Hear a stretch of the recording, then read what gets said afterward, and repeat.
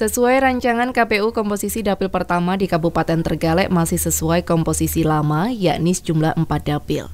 Rinciannya dapil 1 meliputi Kecamatan Tergalek, Bendungan, Pogalan, dan Durenan dengan kursi 12. Dapil 2 meliputi Kampak, Watu Limo, dan Gandusari dengan jumlah kursi 10.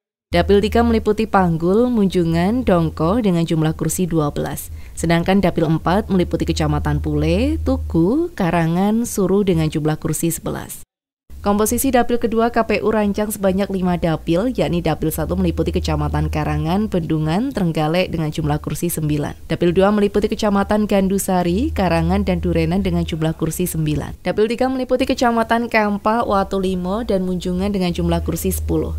Dapil 4 meliputi Kecamatan Panggul dan Dongko dengan jumlah kursi 9. Sedangkan Dapil 5 meliputi Kecamatan Pule, Tugu, dan Suru dengan jumlah kursi 8.